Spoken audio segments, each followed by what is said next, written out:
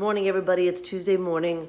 Wish me luck. I have to make a uh, business case uh, uh, to my boss for um, some potential new business. So, uh, which has a lot to do with engineering stuff. But anyway, wish me luck. That's why I figured I'd wear hot pink, which I think I wear like once a year, the white blazer. And so uh, that's it. So wish me luck. Everybody have a great day. I'm gonna work on my podcast tonight.